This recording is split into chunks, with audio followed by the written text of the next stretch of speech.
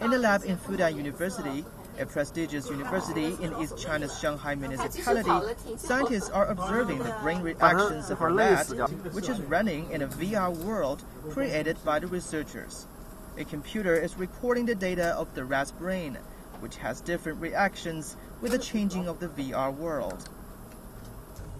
Researchers are seeking relations between the brain's neutral circuits and the establishment of brain functions.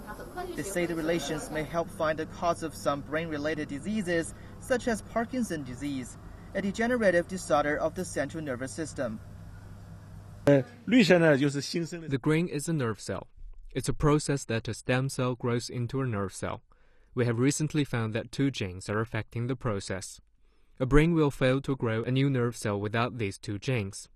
Diseases such as Parkinson's disease and Huntington's disease are mainly caused by the lack of these two genes.